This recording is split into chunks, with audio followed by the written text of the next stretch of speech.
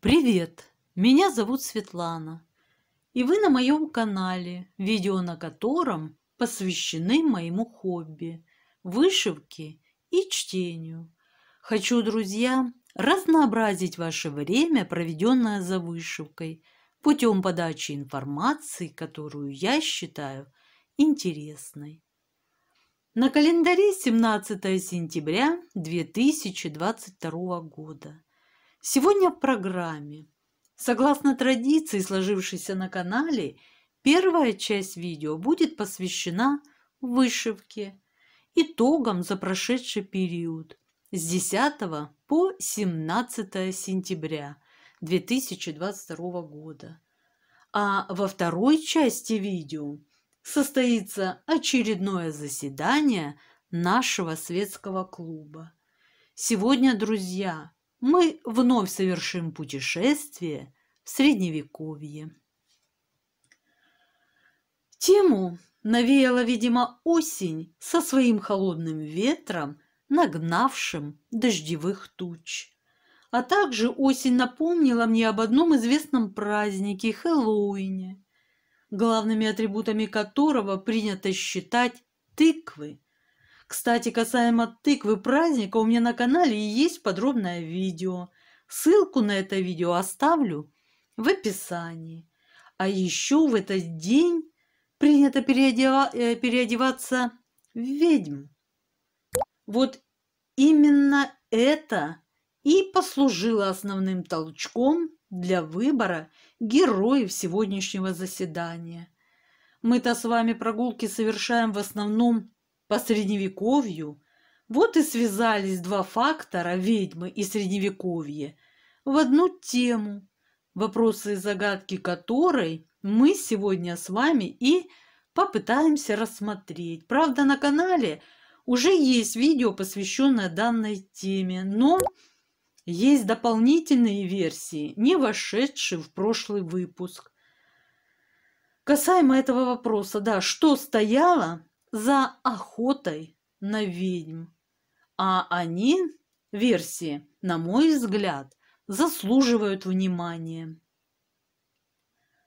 Так вот, друзья, приглашать вас посмотреть сначала то первое видео, чтобы освежить в памяти, а возможно, кому-то и ознакомиться, а затем вернуться обратно, чтобы продолжить экскурс по теме, я посчитала неудобным для вас, а потому и неприемлемым. Поэтому решила осветить данную тему еще раз с повтором.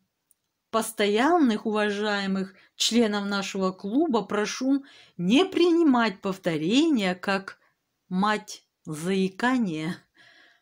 Повторение, друзья, все-таки мать учения. Итак, в сознании современного человека период темного средневековья неразрывно связан с мрачными видовскими процессами, аутодафе, жестокостями инквизиции.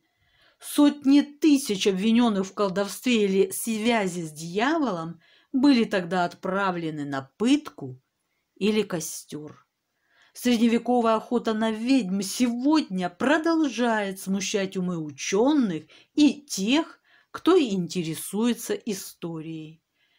В чем причины столь безумной вспышки боязни нечистой силы и ведовства, охватившей Западную Европу в XV-XVII веках. Историческая наука практически всегда рассматривает средневековую охоту на ведьм как нечто вторичное, полностью зависящее от внешних обстоятельств, состояния общества, церкви, Прочие же науки о человеке и человеческом обществе пытаются, если не объяснить феномен охоты на ведьм, то хотя бы выдвинуть гипотезы. Многие в таки, многое в таких версиях может показаться неожиданным, но они заслуживают внимания. С некоторыми версиями мы и познакомимся во второй части видео – а пока, друзья, предлагаю вернуться к первому пункту нашей программы – к вышивке. Начать хочу с представления отчета по процессу, который является дополнительным, вторичным, но не менее важным. Круг Клейтона. Коллективная работа. Пашня. Вот так должна будет выглядеть моя работа в итоге. Прекрасный осенний сюжет. На начало отчетного периода работа выглядела вот так. Картинку выведу на экран. А сейчас, друзья, вы увидите, как продвинулся процесс на сегодня, 17 сентября. Мною вышито 74%. В стишках это составляет 12 686.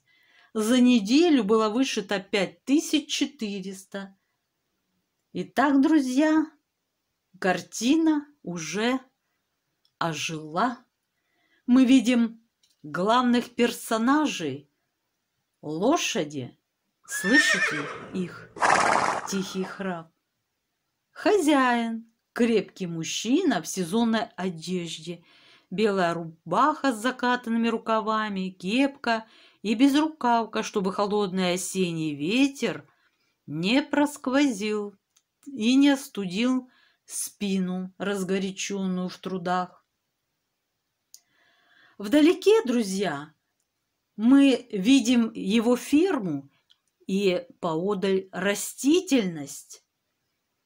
То, что объекты в отдалении нам дает понять легкая прозрачность, которая достигается благодаря технике вышивки. Это крест в одно сложение нити. Да, друзья, все, что создает впечатление далекого пространства, перспективы, вышивается крестиком в одно сложение.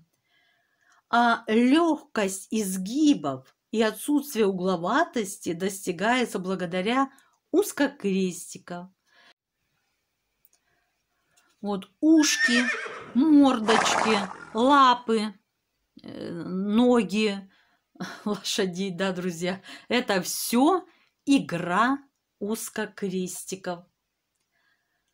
Планирую, друзья, закончить эту прекрасную работу на следующей неделе.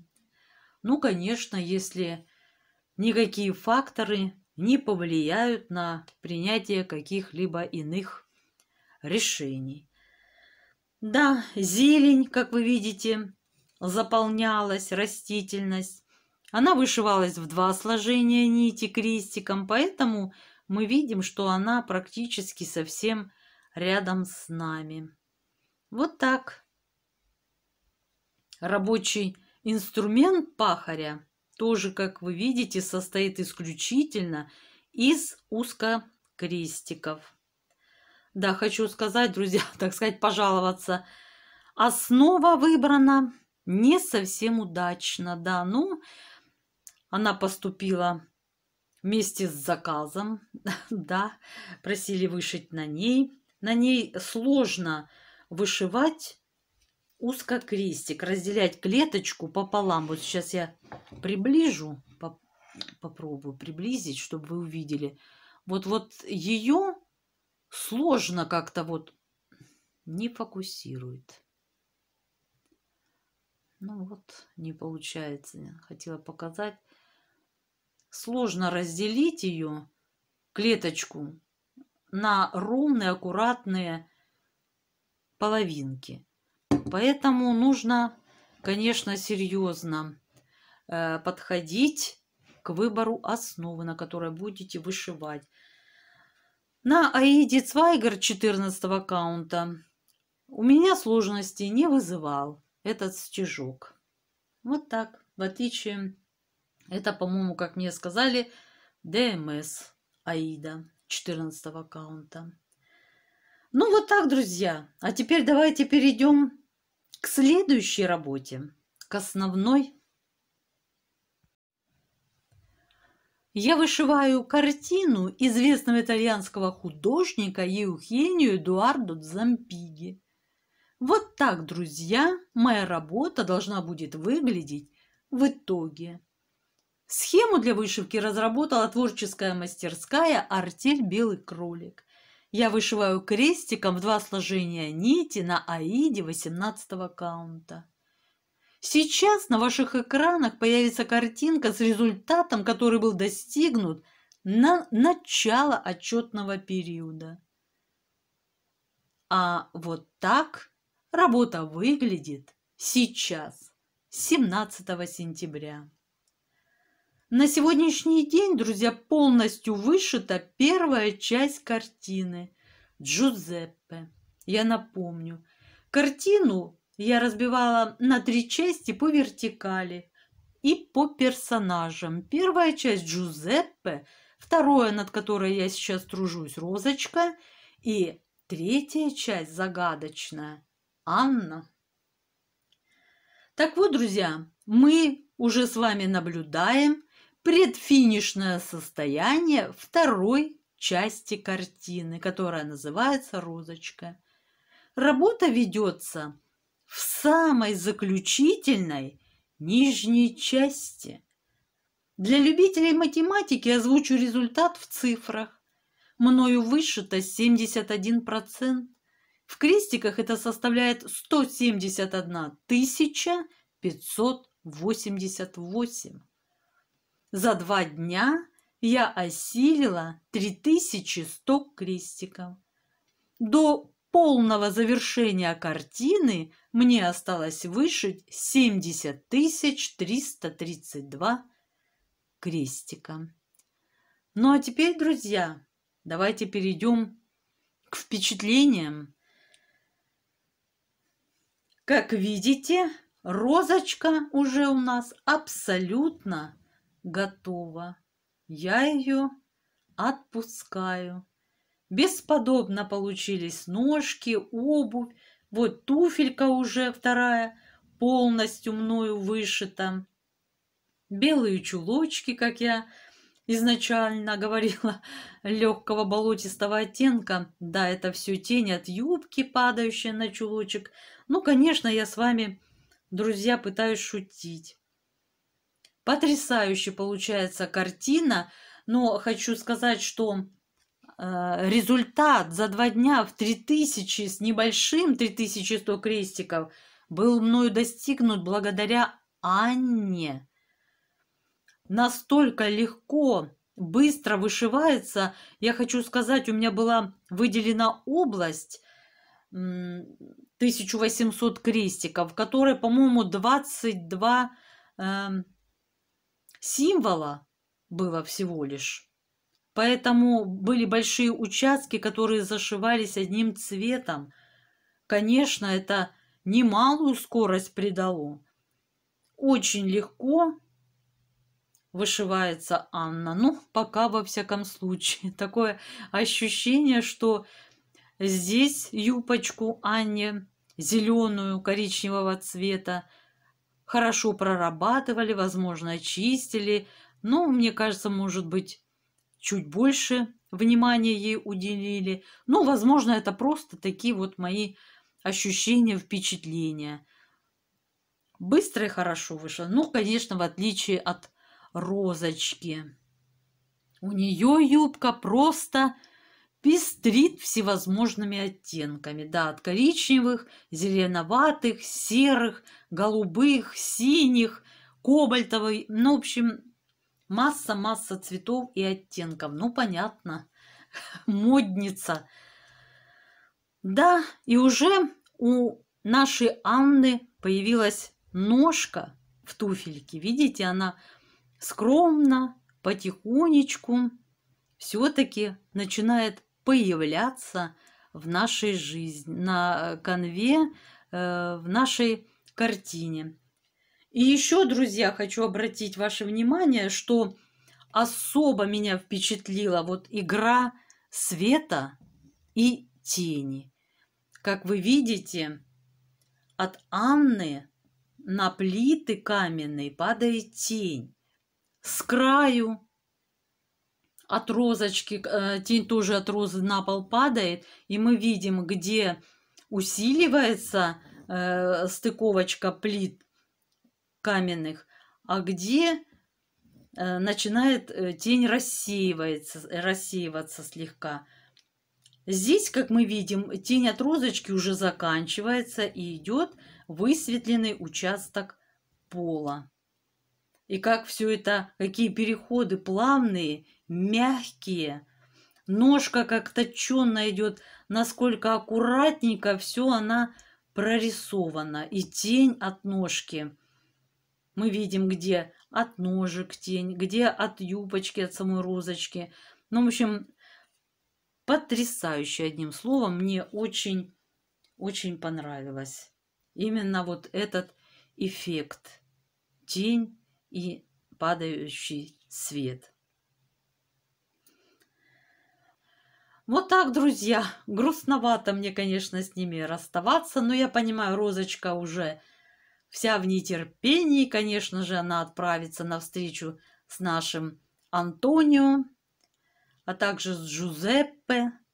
Он уже не может дождаться Аннушку.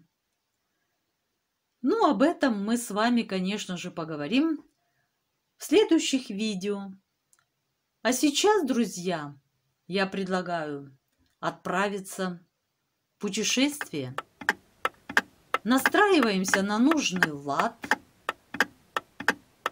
и отправляемся в Средневековье. Что стояло за охотой на ведьм?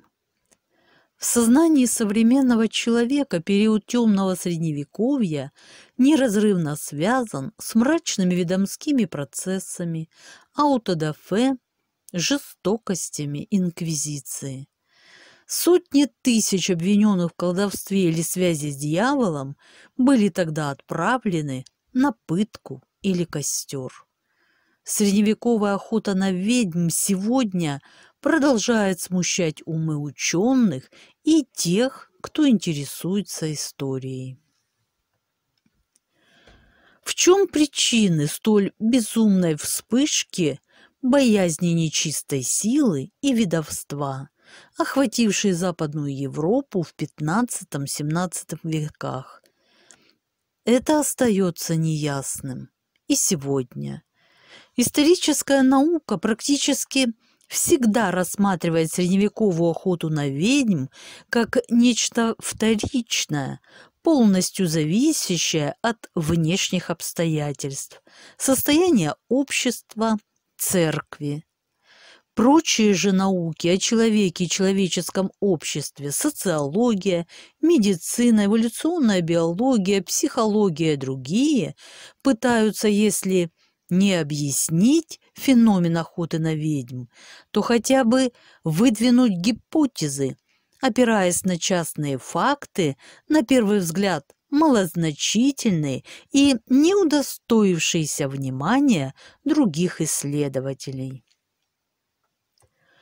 Многое в таких версиях может показаться неожиданным, но они заслуживают внимания и дальнейшего изучения так называемое темное средневековье примерно от 500 до 1500 года нашей эры имеет в наши дни прискорбную репутацию. Именно этой эпохе приписывают самые дурные деяния человечества, в частности, массовое сожжение ведьм. Для большинства охота на ведьм – явление пусть и ужасающее, но вполне отвечающее общему строю суеверного темного средневековья. Такая точка зрения весьма популярна и сегодня.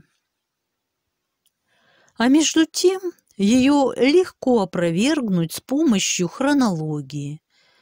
Большинство ведьм сгорело на кострах Инквизиции отнюдь не в начальный период средних веков.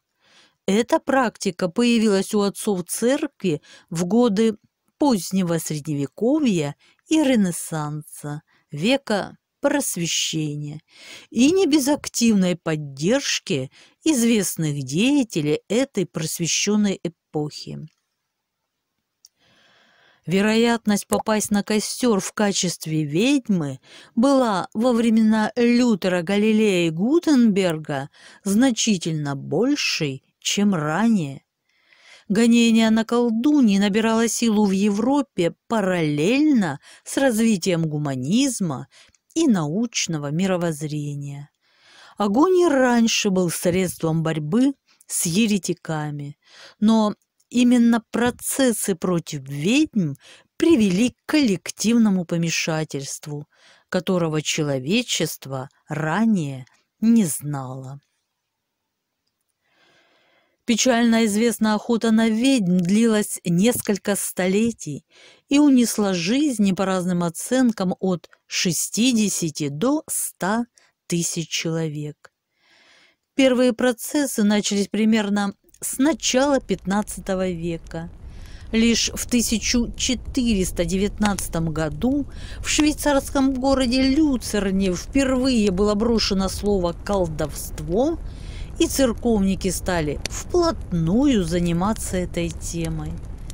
Правда, в XV веке колесо только раскручивалось, и казни были относительно редкими. Большая охота началась в середине XVI века и продолжалась примерно 200 лет. На этот период приходится около 100 тысяч процессов и около 50 тысяч жертв. Своего апогея эта истерия достигла в немецких княжествах, Швейцарии, Франции и Шотландии, в меньшей степени затронув Англию, Италию и Испанию, и почти не коснулась Восточной Европы. Лишь несколько процессов было в Америке – но в начале о массовой истерии говорить было еще рано. Даже когда в 1430 году Жанна Дарк была сожжена на костре, все воспринимали эту казнь как политический процесс. Истерия в поиске ведьм начала постепенно разворачиваться в странах, граничащих с Альпами, и вначале только тлела – пока в 1478 году не появилась знаменитая книга «Молот ведьм», написанная Инститорисом и Шпренгером. «Молот ведьм» и другие аналогичные книги, так сказать, научно доказывали, что ведьмы существуют были подобраны очень ученые выражения, объясняющие, как их отличить от обычных людей, чем они опасны для других и как с ними бороться. Разумеется, охоту на ведьм, как и любое иное историческое явление, нельзя изучать отвлеченно, в отрыве от общей исторической канвы. С этим спорить не приходится. Однако, когда такой подход становится превалирующим, исследователь вправе задать вопрос, а не теряется ли за общими выводами само явление с присущими его особенностями. Факты и свидетельства источников зачастую лишь иллюстрируют нарисованную исследователем картину. До сих пор историки теряются в догадках, что стояло за этим коллективным помешательством. Избыточное религиозное рвение. Но вызывает сомнение то обстоятельство, что особенно активны были как раз не церковники и не невежественные мракобесы, а юристы и государственные чиновники, искушенные в параграфах законодательства и тонкостях юриспруденции. Современный историк Герхард Праузе пишет, это были ученые, университетские профессора, философы, юристы, то есть представители именно тех кругов общества, которые многие годы сопротивлялись темным домогательствам церкви, а теперь вдруг обратились в истинную веру и с жаром принялись искать и обличать ведьм. Когда весьма осторожный в вопросах веры и просвещенный император Максимилиан I, который весьма скептически относился к преследованию ведьм, попросил знаменитого гуманиста того времени прояснить этот вопрос, тот с жаром привел многочисленные, так сказать, научные доказательства. Даже знаменитый врач Парацельс и многие религиозные реформаторы, включая Мартина Лютера, поощряли охоту на ведьм и включались в нее, утверждая, что к ведьмам не может быть милосердия, ведь волшебство и заклинание — чертовщина. Существует несколько версий относительно возникновения массовых видовских процессов, ни одну из которых, впрочем, нельзя считать исчерпывающей. По одной версии, охота на ведьм стала лишь продолжением практики искоренения ересей. Сторонники этой точки зрения утверждают, что инквизиция воспринимала ведьм как членов организованной сатанинской секты и относят начало охоты на них к XII веку, когда появляются сведения о секте катаров. XI-XII столетия, как известно, стали временем расцвета еретических движений богомилов, альбегойцев и вальденцев. И католическая церковь отреагировала на это созданием в 1215 году специального органа папской инквизиции для розыска и наказания еретиков. Однако инквизиция отнюдь не ставила своей целью уничтожение ведьм. Она преследовала подозреваемых в колдовстве лишь в случае их причастности к еретическому движению. При этом процесс оправдательных приговоров был весьма высок. Возможно, это глобальное явление было свидетельством какого-то безудержного падения морали после прокатившихся по Европе войн и эпидемии чумы.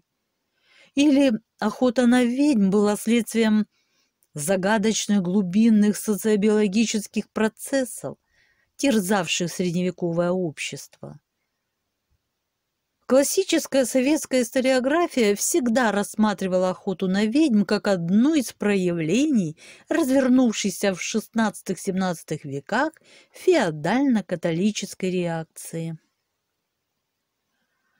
Правда, она не учитывала того, что слуг дьявола активно преследовали и в протестантских странах. Жертвой мог стать каждый, причем независимо от социального положения и религиозных воззрений.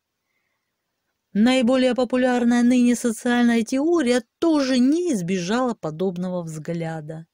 Охота на ведьм это лишь очень яркий показатель степени обострения внутриобщественных отношений, стремления найти козлов отпущения, на которых можно возложить ответственность за все проблемы и трудности бытия.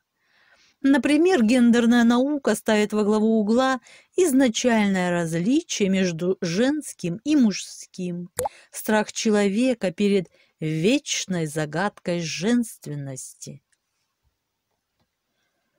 Есть интерпретация видовских процессов, согласно которой они представляли собой массовую мизогинь, мизогинию, войну мужчин против женщин.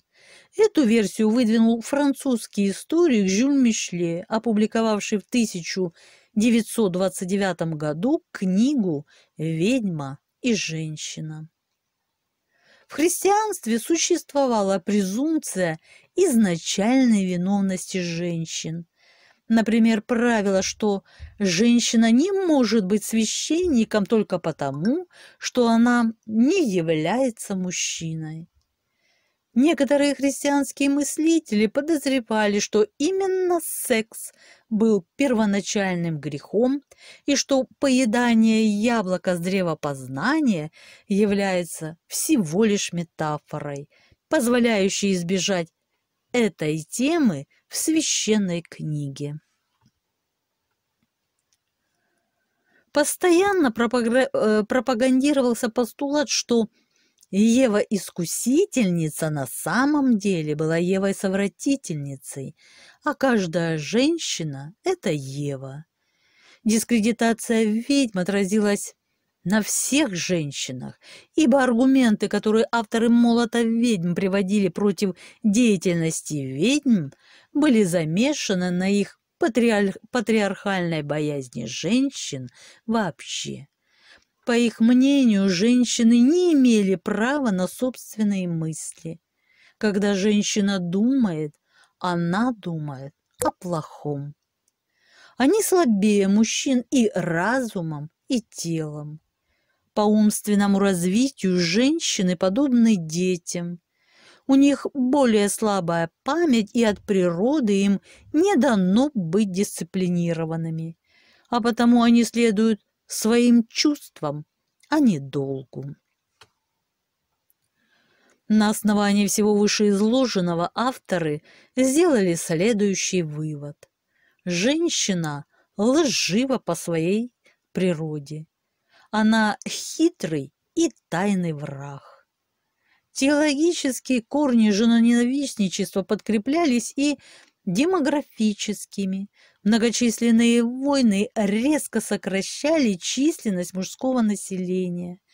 В популяции биологического вида человек разумный начинали действовать биологические механизмы регуляции.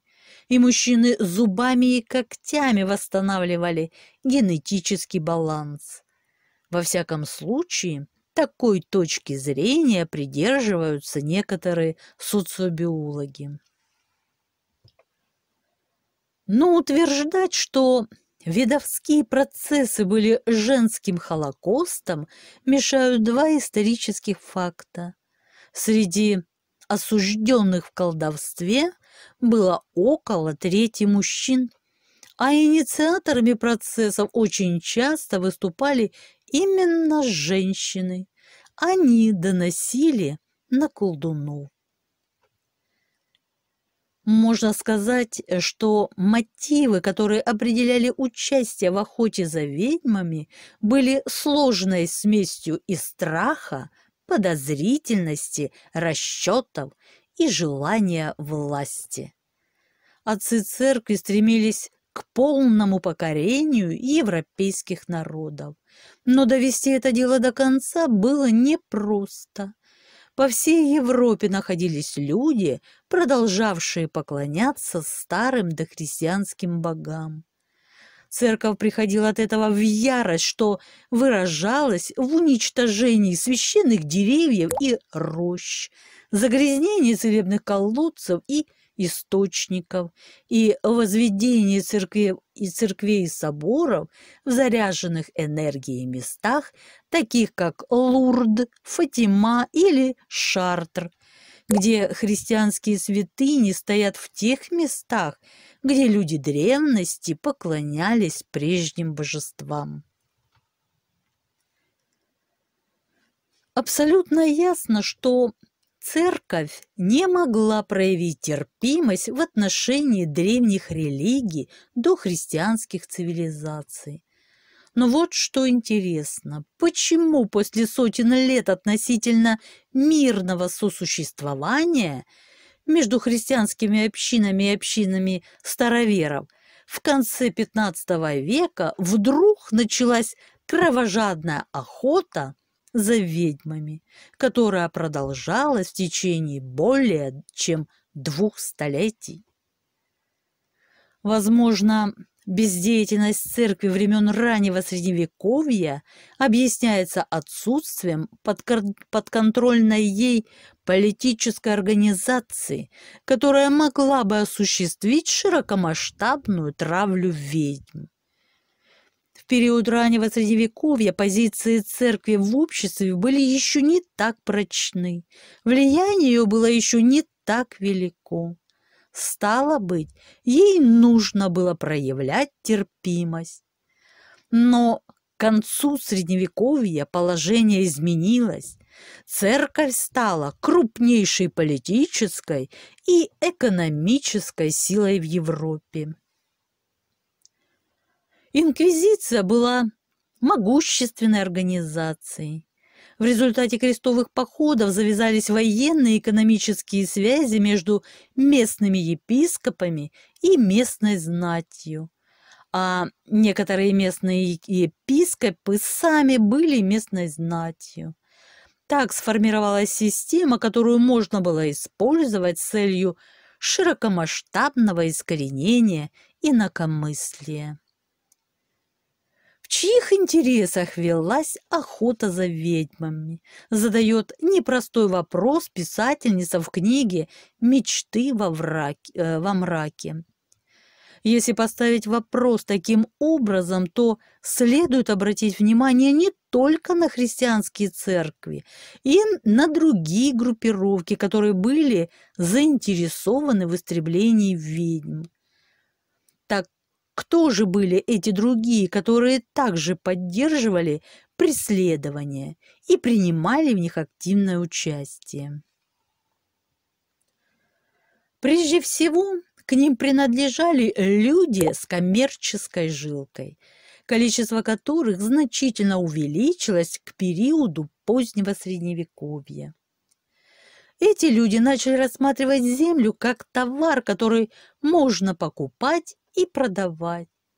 Традиционное отношение к земле, которая была священным объектом поклонения, заключалось в том, что земля не принадлежала никому. Даже землевладельцы не были ее хозяевами в том смысле, что они не могли продавать землю тогда, когда им это захочется. Земля принадлежала общине, даже у крестьян были определенные права. Право собирать в лесу хворост, право выпасать свой, э, свой скот на общинных землях. И, наконец, главное право – жить на этой земле. Землевладельцы эти права уважали. Однако по мере развития рыночной экономики землевладельцы стали экспроприировать землю в свою пользу и изгонять стоявшие у них на пути крестьян. Капиталистическое понятие частной собственности стало теснить старые представления о земле как о священном объекте, который принадлежит всем людям общины. Пионеры капитализма в Америке обнаружили подобное отношение у коренных жителей американского континента и вынуждены были вести войну как в физическом, так и в идеологическом смысле, чтобы искоренить туземные племена чье представление о земле и духе стояло на пути того, что пионеры называли прогрессом. Процесс огораживания, который начался в середине Средневековья и продлился вплоть до XIX века, разрушил традиционный уклад крестьянской жизни. Огородив общинные земли, установив на них свои законы, землевладельцы лишили крестьян их вековых прав. Феодальная концепция Земли как единого организма, в котором есть место для всех элементов общества, постепенно была вытеснена рыночной экономикой. В ходе этого процесса обезлюдили целые деревни. Тысячи крестьянских семей были вынуждены перемещаться на неосвоимые земли или в растущие города, где они за зарплату работали на новых фабриках. Языческая жизнь деревни была разрушена. Соседи стали бояться соседей, и, как это часто случается в смутные времена, потребовались козлы отпущения. Церкви и богатым дельцам не составило труда использовать эту ситуацию в своей выгоде, организовав в различных местностях охоту на ведьм, направленную против конкретных личностей, не отрекавшихся от неудобной старой веры и боровшихся за образ жизни, основанный на единстве сельскохозяйственных угодий и священности земли. Помимо богатых дельцов и землевладельцев, стремившихся получить от земли побольше выгоды в преследовании ведьм и целителей, которые практиковали методы лечения, отличные от тех, что преподавались в университетах того времени, были заинтересованы и представители тогдашней медицины. Усилия создать профессиональную медицинскую среду подразумевали доступ в эту среду только тем, кто закончил официальные учебные заведения. Естественно, что такие люди могли сами устанавливать размеры своих гонораров и отлучать от этой профессии любого, кого они считали непригодным к ней. А потому нет ничего удивительного в том, что они принялись утверждать, будто женщины не способны быть целителями. В «Молоте ведьм» было сказано, если женщина, не имеющая образования, осмеливается заниматься врачеванием, она ведьма и должна умереть. Ведьмы, конечно, учились своему ремеслу, но не в университетах. Они учились у природы, перенимали опыт старших женщин общины, сами экспериментировали с цветами и травами. Лечили-то ведьмы хорошо, и как раз это приводило в ярость медиков и церковь. В 1322 году одна женщина была арестована за врачевание и допрошена на медицинском факультете Парижского университета. Хотя в заключении было сказано, что она владела искусством хирургии и приготовления лекарств в гораздо большей степени, чем лучшие парижские доктора, это, однако, не побудило медиков-мужчин относиться к женщинам-целительницам с уважением. История медицины, кстати, дала возможность появиться еще ряду гипотез о причинах массового безумия, вылившегося в тотальную охоту на ведьм. Разумеется, охоту на ведьм, как и любое другое историческое явление, нельзя изучать отвлеченно, в отрыве от общей исторической канвы. Но нужно вспомнить, на каком фоне разворачивалась массовая истерия преследования колдуней. Ведьмы преследовались как некий фантомный внутренний враг, наравне с другими изгоями, прежде всего евреями и прокаженными. В 1179 году во Франции издается закон против прокаженных и гомосексуалистов. В конце XII века из Франции изгоняются евреи. И, наконец, в XIV веке в этой же стране происходят массовые убийства прокаженных. Но такие сопоставительные ретроспекции не совсем проясняют причины массовой охоты на ведьм, развернувшейся многим позже перечисленных событий. Проказа, лепра, в XI-XIII веках была настоящим бичом божьим. Прокаженные несли на себе печать ужаса.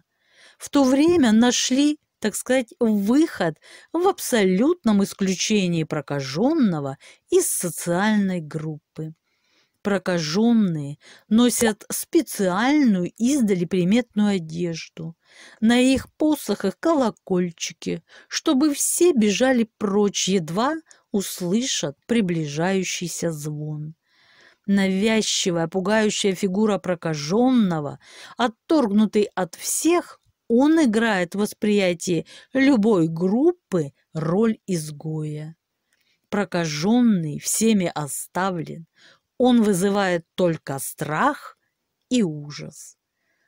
Только на исходе средних веков западный мир избавляется от проказа в массовой форме, эпидемической проказа отступает, и с ее уходом отпадает надобность в тех местах изоляции и том комплексе ритуалов, с помощью которых ее не столько старались одолеть, сколько удерживали на некой сакральной дистанции как объект своего рода поклонения на выворот. Но начиная с эпохи высокого средневековья до конца крестовых походов, количество лепрозориев проклятых селений по всей Европе неуклонно росло. Согласно Матвею Парижскому, в христианском мире в целом их насчитывалось до 19 тысяч.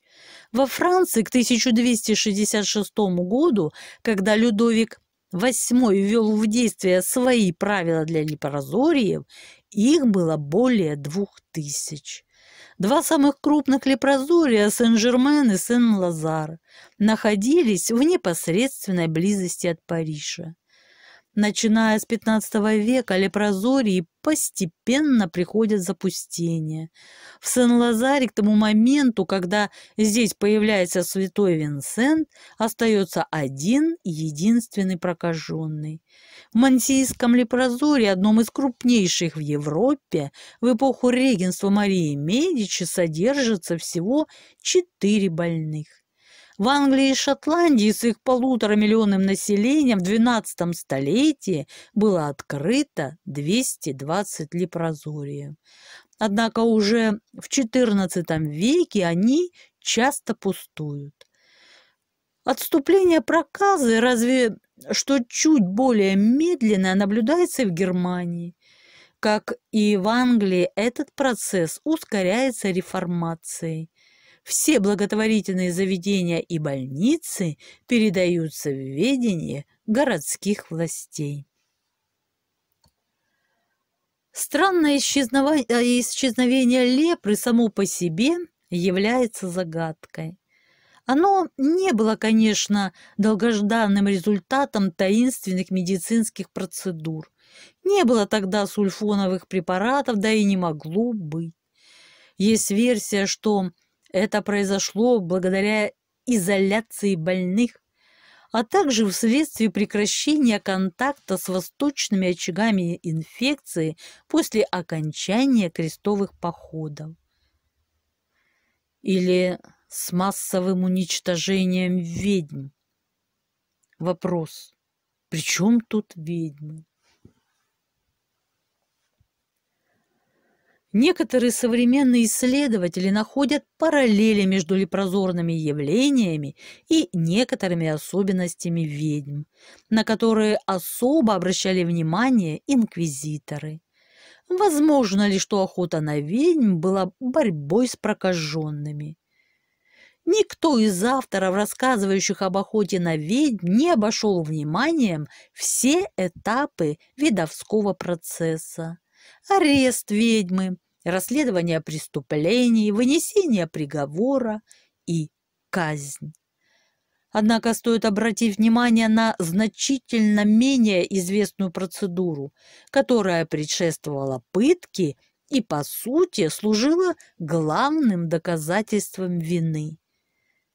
Речь идет о поиске на теле ведьмы или колдуна, так называемой печати дьявола. Ее искали сначала, просто осматривая тело подозреваемого, а затем нанося уколы специальной иглой. Судья и палачи старались найти на обвиняемом места, отличающиеся от остальной поверхности кожи. Пятна беловатого цвета, язвочки, небольшие вздутия, обладающие, как правило, настолько пониженной болевой чувствительностью, что последственные не ощущали укола иглы. Об этом пишет Конторович в работе «Средневековые видовские процессы». Если у кого-нибудь на теле оказывались язвы или какие-нибудь следы, происхождения которых было неизвестно, то их приписывали дьяволу. Поэтому прежде всего обращались испытанию иглой. Нередко такое лишенное чувствительности место действительно находили на теле. О том, что наличие видовской печати ведьминого знака считалось абсолютным признаком виновности, сообщали и другие исследователи. Следует задать вопрос, какую реальную основу могли иметь под собой рассказы о ведьминых знаках, что представляли собой эти отметины. Есть два основных вида таинственных знаков – дьявольское пятно и ведьмин знак. Последний представлял собой своеобразный бугорок или вырос на теле человека и, по мнению демонологов, использовался ведьмами для кормления различных духов собственной кровью. Клеймо же дьявола можно скорее сравнить с родимым пятном. Инквизиторы дают достаточно подробное описание этих знаков. Поверхность тела одержимого отмечена и снаружи особыми знаками. Это небольшие места кожи, нечувствительные, бескромные и безжизненные. Они иногда образуют красные или черные пятна, но редко. Также редко они отмечены углублением кожи. Большей частью они заметны снаружи и находятся на половых органах. Часто они находятся на глазных веках, на спине, на груди. Главный же признак, по которому в Средневековье отличали дьявольское пятно – его нечувствительность к боли. Поэтому при осмотре потенциальной ведьмы подозрительные пятна обязательно прокалывали иглой. И если на укол не следовало реакции, обвинение считалось доказанным. Еще одна существенная особенность чертовых знаков при укалывании эти места не только не чувствовали боли, но и не кровоточили.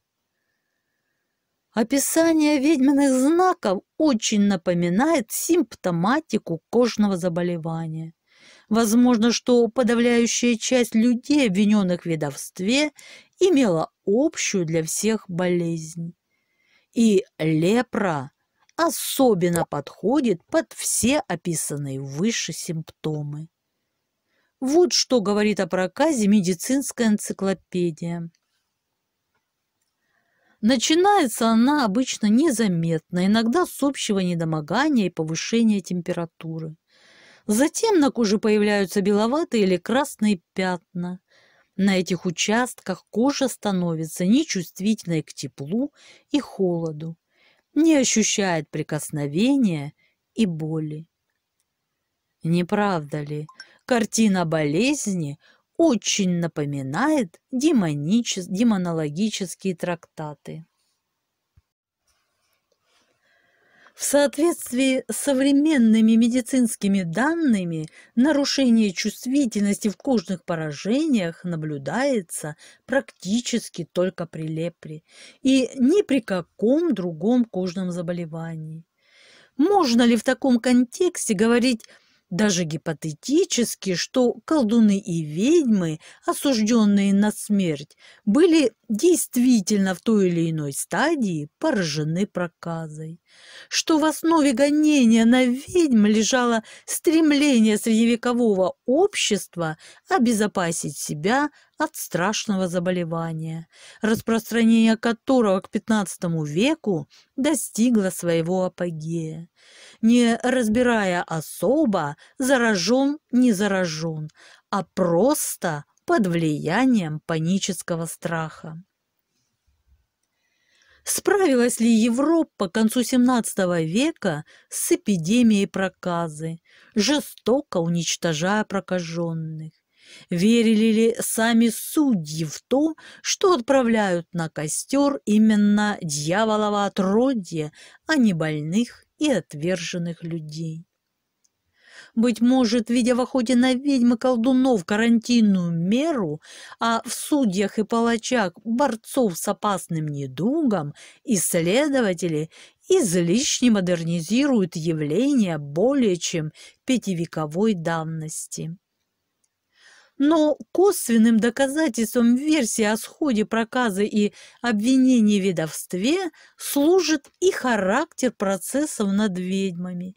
Ведь не зря в литературе им посвященной они именуются эпидемиями.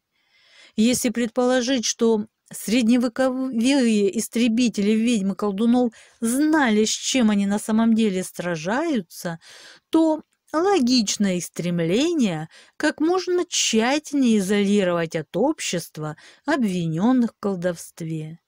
Многие авторы, в том числе эсперанские, упоминают о том, что ведьмы содержались в особых отдельных тюрьмах. Демонологи же в своих наставлениях предупреждают об опасности близкого контакта с ведьмами, а судьям рекомендуют при допросах избегать прикосновений колдуней. Хотя теологи считали, что борющийся с ведьмами имеет благословение церкви, а потому не подвластен их чарам, практика нередко говорила об обратном. В литературе известны случаи, когда в колдовстве обвиняли палача и судью, ведшего процессы. В этом нет ничего удивительного. У них было достаточно возможностей заразиться. Поскольку наибольшая опасность заражения грозила прежде всего родственникам и ближнему окружению, то если хоть один из членов семьи был казнен по обвинению в колдовстве, то на всех остальных всю жизнь лежало подозрение. Инкубационный период лепры может составлять несколько лет, и любой контактирующий с зараженным внушал опасения. Нередко казнили всю семью ведьмы. Иногда, очень редко, с обвиняемого в колдовстве снимали обвинения, но и после освобождения он оставался, по сути, отверженным, подвергаясь строжайшему карантину. Ему запрещали входить в церковь или отводили в ней особое место. Даже в собственном доме он жил изолировано. Вполне разумные предписания на случай возможной опасности заражения. Доказательством, подкрепляющим гипотезу, может быть стереотипный образ колдуньи, созданный народным сознанием. На костер всходили люди без различия пола, возраста, социального положения. Любой мог быть обвинен в колдовстве. А вот описания типичной ведьмы оказались наиболее устойчивыми. Английский историк Харт в работе «История ведовства» приводит свидетельства современникам о том, как, по их мнению, выглядит типичная ведьма. Вот одно из них. Они кривые и горбатые, на их лицах постоянно лежит печать меланхолии, повергая в ужас всех окружающих. Их кожа покрыта какими-то пятнами. Старая потрепанная жизнью корга, она ходит, согнувшись дугой, свалившимися глазами, беззубая, с изборожденными ямами и морщинами лицом. Члены ее постоянно трясутся. Это очень похоже на внешний вид больного лепрой на последних стадиях развития заболевания. Кроме того, сообщает медицинская энциклопедия, в запущенных случаях выпадают брови, ушные мочки увеличиваются, выражение лица сильно изменяется, зрение слабеет до полной слепоты, голос становится хриплым. Типичная ведьма из сказки разговаривает охрипшим голосом и имеет длинный, резко выдающийся на лице нос. Это тоже не случайно. При лепре весьма часто поражается слизистая оболочка носа, что приводит к ее перфорации и деформации. Нередко развивается хронический фарингит. Поражение гортани приводит к хриплости. Впрочем, дьявольские знаки, принимавшиеся за печати сатаны, которые искали и находили у ведьм средневековые инквизиторы, могли не быть связаны с лепрозорными симптомами. Это могли быть и обычные жировики, язвочки и тому подобное. То, что ведьмы зачастую не чувствовали боли от уколов, можно объяснить нервным заболеваниями и экзальтацией, вызванной страхом. Колдуньи впадали в состояние некоего транса, подобного тому, какой наблюдается на сеансе гипнотизера. Вполне возможно, что мистический страх перед проказой прокаженными и ограниченность медицинских познаний приводили к перестраховкам и чудовищной жестокости в отношении попавших под подозрением. Известный французский исследователь Жан Легу в работе «Цивилизация средневекового Запада» рассматривает категорию прокаженных и ведьм как имеющие некоторое сходство. И тех, и других он считает своеобразными козлами отпущения, на которых общество возлагало ответственность за все проблемы и грехи.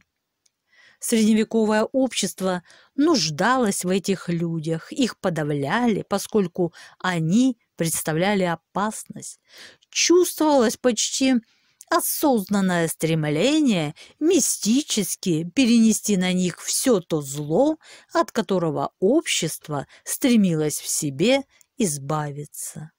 Однако Объяснив гонение на ведьмы прокаженных одними и теми же причинами, сами эти категории легов никоим образом не совмещает. Важным моментом, свидетельствующим против гипотезы о том, что преследование ведьм было методом борьбы с проказой, является тот факт, что большинство источников называет главным способом обуздания проказы изоляцию больных. Человек, который признавался прокаженным, изгонялся из общества. Его публично отпевали в церкви, а затем помещали в лепрозорий, после чего он считался мертвым как перед церковью, так и перед обществом. Он не мог ничего зарабатывать или наследовать. Идея изоляции прокаженных от общества возникла в Западной Европе еще в VI веке, когда монахи ордена святого Лазаря на территории Италии посвятили себя уходу за прокаженными. Изгнание больных в, репро... в, реп... Э, в лепрозории было не физическим уничтожением, а скорее символическим – отпевание как покойника и лишение гражданских прав. А ведь ведьм именно уничтожали, сжигая живьем.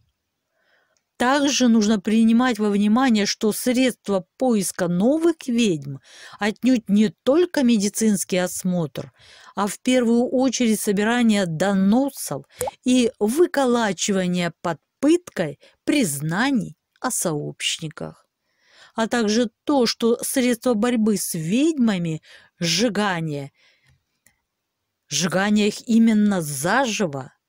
Жертву пытали и не только уколами в пятна дьявола.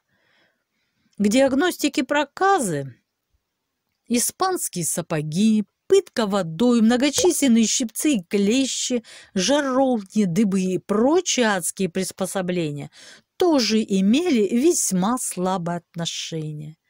Пытаемые кричали и корчились от боли. Разве это не доказывает, что они вовсе не были больными проказой, при которой чувствительность членов теряется?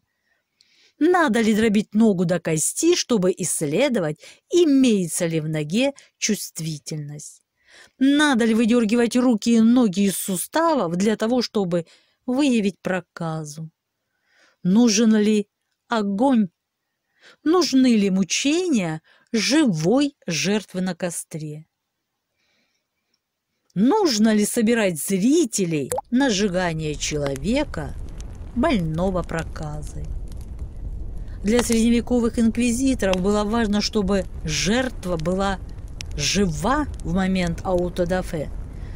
Мучения жертвы были необходимы для очищения души. Остальные должны были видеть это, чтобы бояться, чтобы стать послушными.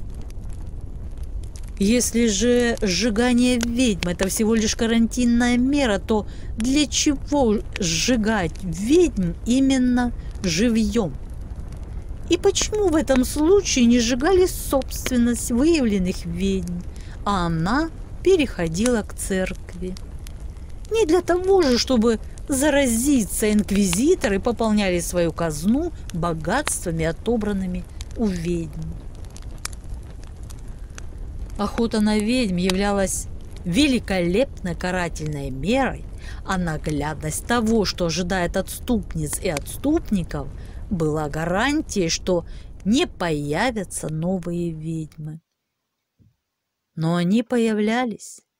Во всяком случае, совсем нередки были самооговоры женщин в ведовстве, признания в магических занятиях еще до применения методов устрашения и пыток.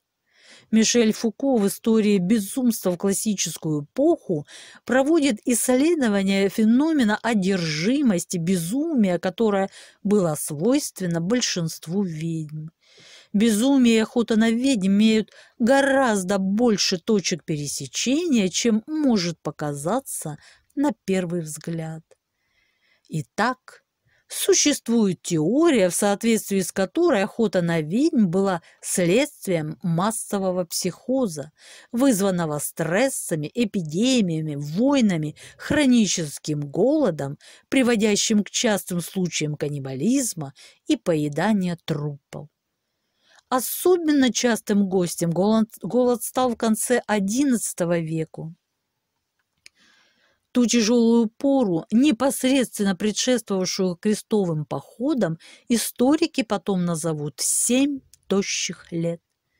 Из года в год в хрониках и аналах скупо перечисляются приблизительно одни и те же сведения о массовой гибели людей, людоедстве, болезнях и всплесках безумия, конкретными причинами которого наиболее часто является эрготизм, отравление спорыней или атропинами, белодонной и другими растительными и животными ядами. О том, что в средние века посевы ржи были чудовищно заражены спорыньей, историки даже не спорят. Это факт, многократно подтвержденный заселяя растения, особенно во влажную погоду, паразитируя на них, грибок спорынье выделяет продукты жизнедеятельности, которые нередко оказываются токсичными для людей и животных. В ту эпоху массовая гибель людей происходила в основном от двух болезней, смертность от которых превышала смертность от всех остальных вместе взятых – бубонной чумы и огненной чумы, то есть эрготизма, отравления алкалоидами спорыньи, попавшими в муку из зараженных зерен ржи. Высокие дозы алкалоидов приводят к мучительной смерти, низкие – к сильным болям, умственным расстройствам, галлюцинациям, бреду, немотивированной агрессии – Возбудителем болезни, возникшей вместе с развитием сельского хозяйства и получившей название «Огонь святого Антония», является именно спорынья. Это был страшный бич рода человеческого. Вероятно, смерть от бубонной чумы даже составляла меньшую долю от общей смертности, ибо спорынья приносит не только непосредственную смерть от эрготизма при высоких дозах, а чревато при употреблении в меньших дозах расстройствами психики и агрессивным поведением, что в свою очередь приводит людей к гибели. Это мы и будем наблюдать на протяжении всей европейской истории, от времен крестовых походов до французской революции. Расстройство психики, или, проще говоря, галлюцинации и разные божественные видения, а также агрессия начнут уменьшаться только тогда, когда Европа перестанет сеять рожь и перейдет большей частью на пшеницу, которая не поражается грибком. Кстати, от эрготизма страдал в основном простой народ, который употреблял черный хлеб.